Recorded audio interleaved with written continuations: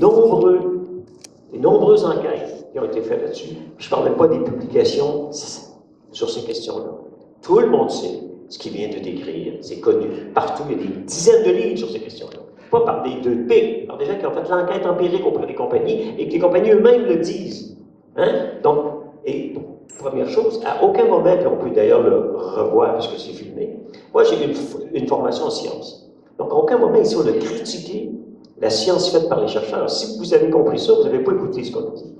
On a critiqué les usages qui en sont faits, parce qu'on a bien dit au moins cinq fois que la plupart de ces travaux-là sont scientifiquement justes. Mais par exemple, quand vous dites qu'il y a des coûts élevés à cause de la réglementation, vous avez raison. Il faut continuer l'analyse. Quel est le taux de profit demandé par euh, ces compagnies-là? Valiant, qui, est ici, dont le, le modèle d'affaires, c'était quoi? Faire de la R&D pour faire des découvertes qui mènent au prix Nobel? Est-ce que vous croyez ça? Que c'était ça leur but? Non. Leur but, c'était d'acheter des compagnies existantes qui vendaient des pilules utiles, mais qui multipliaient le prix par 5. Donc, ce qu'on critique, c'est certains modèles d'affaires de certaines industries pharmaceutiques, pas le contour de la science, dont on a dit au moins 12 fois que la plupart de ces études-là, qui sont ghost written, ont un vrai contenu, mais la question se pose. Pourquoi on veut un ghost written? Si moi, ce que j'ai à dire, c'est vrai, pourquoi je le fais signer par lui? Donc, il ne faut pas être naïf non plus, OK? Ça, c'est bien important de distinguer ça. Et là où je différerais d'avis, c'est que, contrairement à ce que vous nous demandez, le pourcentage de mensonges versus le pourcentage de vérité n'a aucune importance, ce pourcentage-là, parce que l'évidence, c'est que si une compagnie publie, et ça c'est démontré en cours, des revues inventées du début à la fin, quand même que ce soit 2 sur 5 ou 1 sur 10, pourquoi ils font ça 1 sur 10 quand c'est pour cacher des effets secondaires?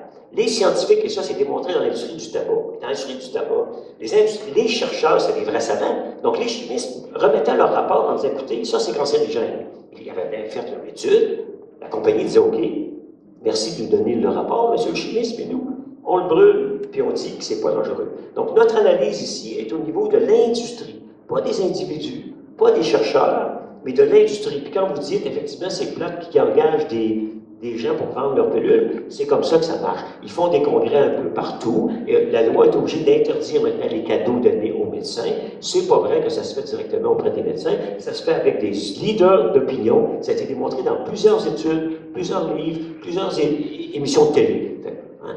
Oh, on n'est pas des naïfs. Oh, on pas pousser le bouchon. Écoutez, moi, je connais plusieurs médecins. Et puis, euh, ce ne sont pas non plus des gens stupides, ils sont là pour soigner la population. La, grande majorité des médecins ne sont pas là pour se faire euh, dire n'importe quoi du marketing, parce que ça vient tout du marketing. Les représentants pharmaceutiques, ils ont très peu de formation scientifique, ce sont des vendeurs. Donc, ce qu'il faut critiquer, c'est pas la science derrière ça, pas du tout, mais il faut critiquer le marketing qui se fait. Et que faites-vous pour dénoncer tout ça à la, bonne façon, pour remédier à la misinformation? Parce qu'on traite de misinformation. Parce qu'on peut jaser longuement euh, et dire que, OK, la mauvaise euh, industrie pharmaceutique multinationale, ou encore une telle autre compagnie qui sont là juste pour l'argent, écoutez, on n'en finira pas. Mais je veux simplement finir par, par vous demander, parce qu'on n'a pas eu non plus encore de, suggestions ou euh, qu'est-ce que vous allez faire pour contrecarrer cette misinformation. Bonsoir. Bah, rapidement, je pense que M. Gagnon va répondre, surtout que son travail, en fait, il ne fait que ça. En fait, juste marketing versus recherche, en 2003, lorsque c'était les belles années de l'industrie pharmaceutique euh, au, Canada, euh, si on regardait l'emploi dans le secteur pharmaceutique, on avait 49% c'était le marketing et 17% de l'emploi c'était de la recherche et développement.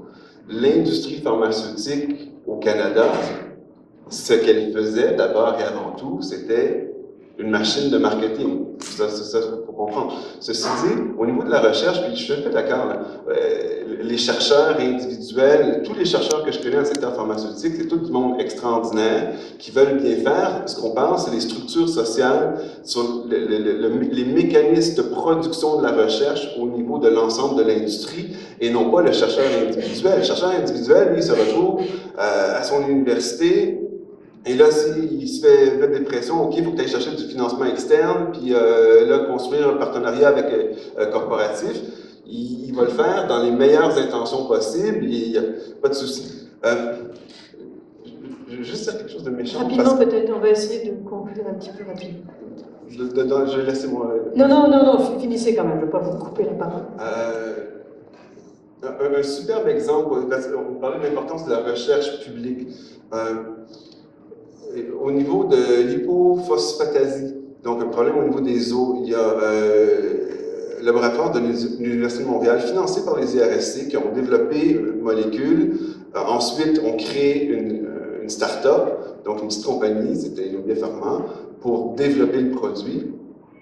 Et donc, ce produit-là, on a réussi à le développer, l'emmener jusqu'en phase 2. Euh, pour la phase 3, on a décidé, bon, ça, on va vendre ça à une plus grande compagnie, donc Alexion. Euh, Alexion rachète le produit. Et là, en ce moment, la porte euh, et la vente aux Canadiens, la molécule peut coûter jusqu'à 2,5 millions par traitement. ça dépend de la, du gabarit de la personne. Ça peut monter jusqu'à 2,5 millions par année par personne. Euh, et à ce moment-là, ben non, on ne peut pas acheter ce médicament-là pour les patients canadiens qui ont euh, qui en ont besoin parce que le, coût est trop élevé. Mais c'est un truc qui pour moi est absolument fascinant. On a des chercheurs qui amènent un médicament extraordinaire, mais sur les structures de la production de ce savoir-là conduit à, amener un produit qui devient inaccessible pour la population. Et ça, c'est pas le problème de la compagnie, c'est le problème au niveau des politiques publiques qui sont en place, qui permet un système comme ça Valeant est la seule grande compagnie pharmaceutique canadienne qu'on a développée, oui, qui fonctionne au niveau de la fusion-acquisition, augmente les prix, mais quelque chose de très important, fusion-acquisition pour euh, assurer la profitabilité, qu'est-ce que fait Valeant ensuite? C'est réduire ses coûts en fermant le laboratoire de recherche. Et ça, ça a été systématique. Donc, on a ici un modèle d'affaires où est-ce que, oui, on crée de la profitabilité pour cette entreprise canadienne, en détruisant la recherche et le développement qui se fait. Si c'est ça le modèle qu'on veut pour le Canada, ben, ça pose problème. Donc, qu'est-ce qu'on fait pour solutionner ce problème-là? Je pense qu'on a donné un certain nombre d'exemples qui, qui sont clairs. Ça s'appelle la réglementation. Par exemple, aux États-Unis, depuis quelques années, on a obligé les compagnies à déposer leurs études cliniques dans une base de données. Pourquoi? Parce qu'on comme ça, on est certain que quand l'étude clinique est supposée être terminée, on peut poser la question pourquoi les résultats ne sont pas publiés? Est-ce que c'est parce qu'ils sont négatifs? Mais les résultats négatifs, c'est très important, parce que dans les méta-études, les métadonnées, les méta-analyses sont biaisées parce qu'il y a uniquement les termes possibles. L'autre chose qu'on fait, c'est qu'on interdit justement de faire des, des, cadeaux aux médecins. On interdit de donner. Donc, depuis 15 ans, parce qu'il y a eu des travaux qui ont montré les abus structurels, pas individuels. Tout le monde est gentil individuellement. Mais structurellement, ce n'est pas le cas.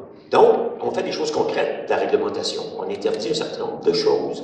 Et la réalité, c'est ce qu'il vient de décrire, c'est que le fait empirique, c'est aussi que, dans le cas qu'il vient de donner, la recherche par ces grands chercheurs de Montréal a été subventionnée par vous et moi, par les IRSC, donc par de l'argent public, qui ensuite s'est privatisé et nous est retourné à des prix astronomiques privatisés. Donc, ce qu'on critique, c'est l'usage privé de recherche publique.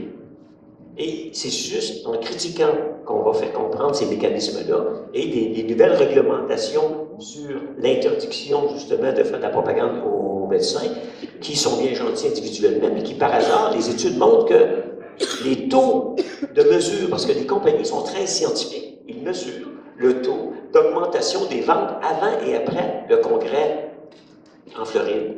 Et curieusement, c'est un hasard, ça augmente. Il n'y a pas de lien causalité, mais ça demande. Et ça, c'est démontré même par les compagnies elles-mêmes. Donc, il faut arrêter d'être naïf. Mais sur ce, je crois qu'on va clore le débat. Je pense qu'on pourrait discuter longtemps. Merci beaucoup.